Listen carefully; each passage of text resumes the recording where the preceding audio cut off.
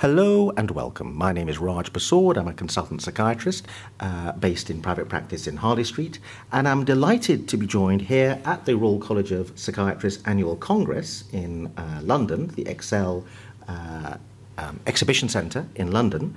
Uh, 2016 is the year of this uh, annual congress. I'm delighted to be joined by Professor Frank Schneider, who is a professor at the Department of Psychiatry, Psychotherapy and Psychosomatics at the RWTH University in Germany and he is the former president of the German Association for Psychiatry and Psychotherapy. And he's taking part in a panel discussion later on this afternoon, which looks back at the history of German psychiatry, particularly during the Nazi period. Now, um, Frank, this association, the German Association for uh, Psychiatry and Psychotherapy, which you are the former president, is one of the oldest and perhaps most distinguished uh, psychiatric organizations in the Western world. Yeah, that's true. We are really proud of our uh, work, and um, we started very early with the beginning of psychiatry, coming from, from internal medicine, later uh, with, to, together with neurology. And we are a huge organization in Germany. All the psychiatrists are proud to be one. It's in a way, it's a testament to the idea that psychiatry as a discipline and as a, as a profession within medicine had kind of very strong underpinnings, um, whereas psychiatry elsewhere in the Western world often had a very shaky start. Yeah, that's probably true. We are more, in the former times, interested in philosophy, um, something which is really neglected, neglected now. We are more interested now, and I think that's good, in biological stuff, in, in social stuff, in, in psychosocial stuff, and so on.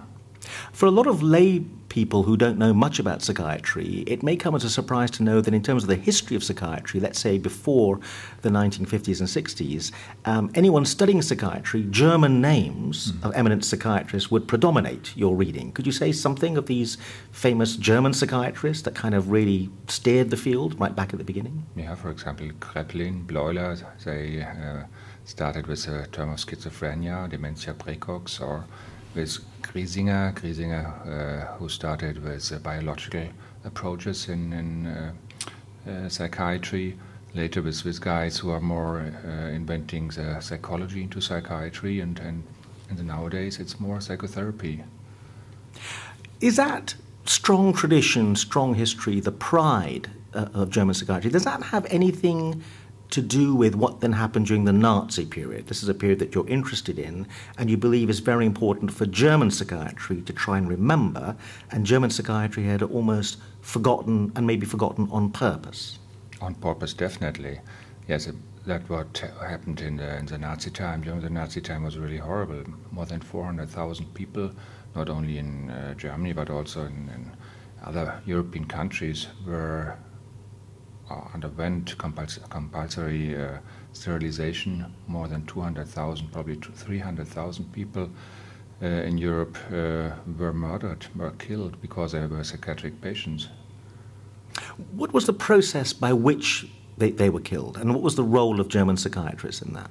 The German psychiatrists, for the start of this Action T4, Aktion T4, it's a Tiergartenstraße 4, the Sue Street in, in Berlin, there was a headquarter of this uh, not of this illegal organization, and Hitler uh, told them they have to work, uh, they have to find out which psychiatric patients and neurological patients have to be killed.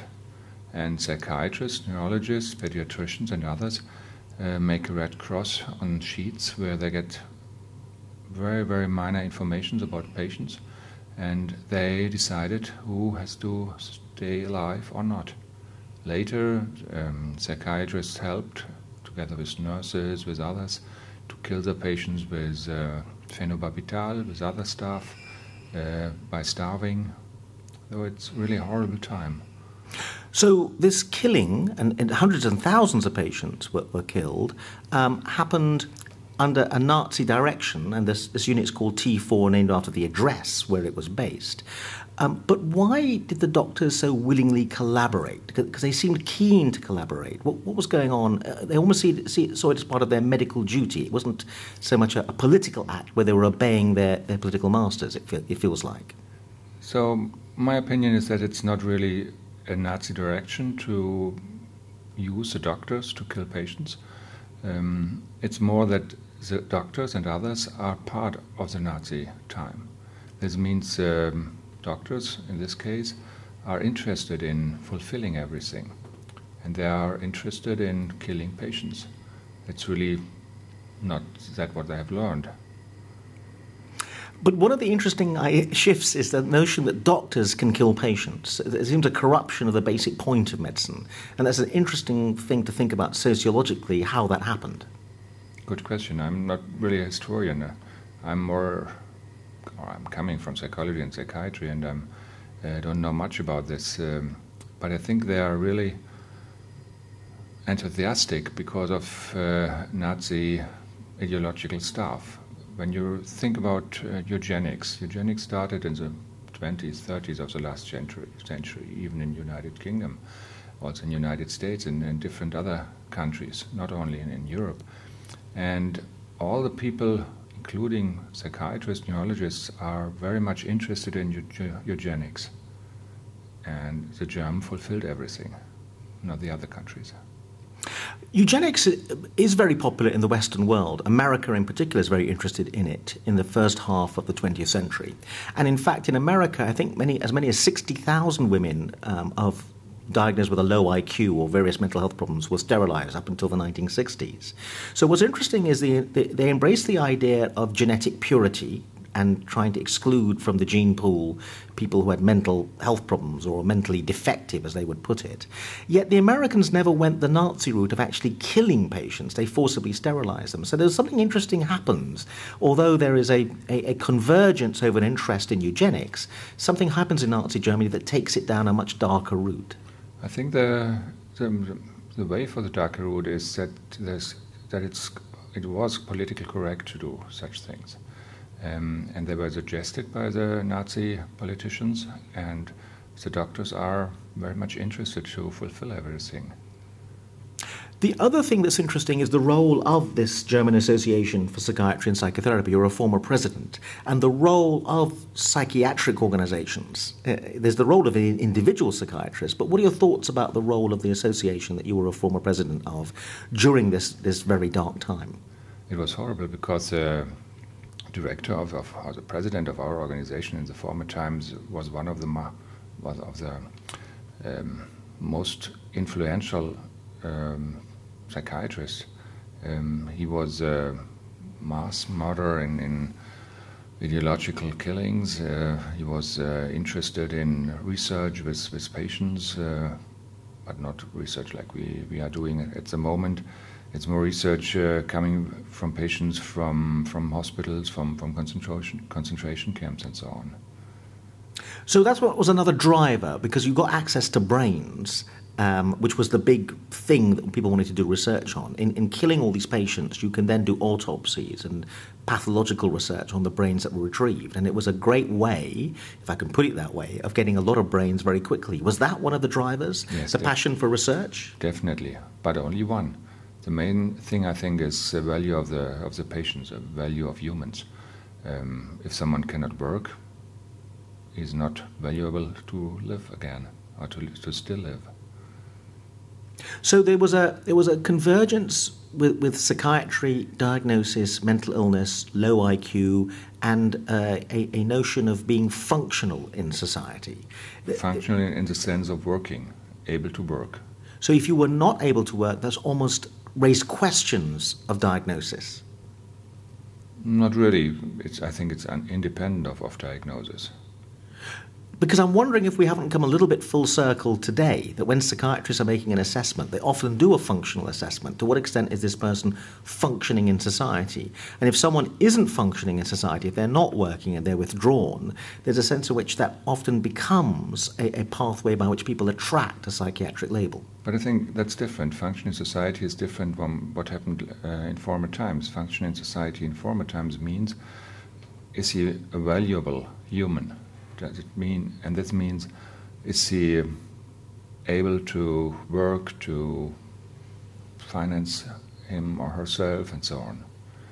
So the patients which were killed uh, formerly, there can be really persons who were working in a different field, who are working uh, or who are have their role in their family and so on. Are not worthless. So, so valuable role was also maybe part of this idea of a thrusting Germany, which was what's the point of you if you're not going to help us uh, build the society, make it strong, and defend uh, the motherland? Is that the kind of ideology? Yes, definitely. But was that partly because the country felt under threat, and therefore everyone had to pull at the, at the oars, as it were? No. So it was, it was more a sense in which you, everyone had to take part in this common purpose, otherwise there was no point to you. Yeah, but it's it's the psychiatrist and the other patient and the other persons, uh, like people from law or from, from other disciplines in medicine, they are interesting in fulfilling these ideas. They are not for, they are not forced to do this. Were there many psychiatrists that opposed uh, this program of killing of patients? It's difficult to uh, to answer to this. I think there are many psychiatrists and uh, many physicians uh, who are a member of the Nazi parties, who are uh, working with, with all the Nazi staff. Um, there are only a few, even professors, uh, heads of, of university departments, and so the leading people of the field are working in these killing centers. It's it's easy to think of this as something way back in the past. You have been very interested in bringing back memories. Why, why are you so interested in reacquainting the modern profession in Germany with its history? Because I think it's important to learn about what happened uh, for, the, uh, for the future, and we cannot say we have. I think we have different aspects. One is the victims. We have to apologize. We have to think about what happened. We have to make research what happened. Everything, as you mentioned before, was neglected before. Um, and the second thing is what can we learn for the future de- debates? For example, um, um, sterilizations, uh, for example, free will, for example, um, ending the ending their own life uh, before death, and so. Could you say something about the, the, the interesting link with free will? Because that's an interesting point to bring up is someone able to live his life on his own role, whatever he wants to do? Um, is it okay to say to someone who is different, who is, for example, psychotic, uh, I am the phys- physician and I have to say to you what you are thinking and what you are doing, and what is allowed and what is not allowed. Sometimes you have someone from law who helps you as a physician but I think the main thing is to have respect for this, what patients are doing and relatives. There is a danger, many people would say, that we are in grave danger of returning full cycle back to the kind of era before the Nazi ideology, which is the rise of biological psychiatry, the rise of the idea that whenever there's a psychiatric disorder or a psychological problem, there's a biological underpinning, there's a dysfunction in the brain, structural or functional because there is some interesting research evidence that when the public are exposed to biological theories, let's say of the, the causes of schizophrenia, they tend to produce more social distance with people with schizophrenia. They tend to want to it, the, the, the, diagnosis gets stigmatized more, and people don't want to have a, someone with schizophrenia babysitting their children, for example, if, if they're exposed to biological theories, as or opposed to. In, or live in the neighborhood. That's right. So, in, in a way, the, bi- the biological story, which is the dominant story in modern psychiatry, um, is in danger of sending us back to the Nazi era, possibly? No, no definitely not. I think we have to learn and we have to understand why our mental disorders happen and why they influence individuals' behavior. But there's a sense in which the biological story tends to lead us to see people with these disorders as a bit different, whereas the psychoanalytical story or the psychodynamic story tends to make them seem a bit more like us. The Freudian um, story, although rejected now by modern psychiatry, was about the idea that all of us have unacceptable uh, pathology within us. It, it was more um, a, a, a, view that we were all lay on a spectrum, whereas the biological story seems to say that we are categorically different. But it's not really evidence based. So I think uh, even even biological psychiatry is nowadays uh, in a in a circle together with uh, psychosocial staff and all other staff. It's not only the cell and it's not only the hippocampus, it's also the environment. But psychiatrists have historically found it difficult to, to keep all of these balls in the air. They've tended to, to camp themselves into one camp or the other biology, psychology, etc. But, but I think that's not the recent idea. The recent idea is really to combine everything. And do you think modern psychiatry is doing that? Sure, I try. um, wh- why now? Why should we now be, be um, interested in uh, this this story, uh, as opposed to why why was it not um, covered before? Why, why is there sudden interest, and you, are at the vanguard of this, of to bring back the memories? There were only some initiatives before, and uh, these initiatives were usually regionally uh, focused. That means that someone in, in, a, in, a, special hospital is investigating what happened in this hospital. Uh, however, the German Association for Psychiatry and Psychotherapy never made any step towards uh, victims, towards uh, relatives. And we started in 2009 with, you can call it a campaign. We changed um, the statute of our organization. And in the first paragraph, we mentioned that this is really something which is very, very important for us to think about, to um, work different compared to former times. Um, in 2010, we celebrate a huge uh, ceremony with 3,000 3, uh, different psychiatrists uh, from Germany. And I, as a president, uh, told everyone that we are very sorry about what happened, that we want to learn about this. Uh, we don't want to continue this, and we want to make research, want to learn what happened.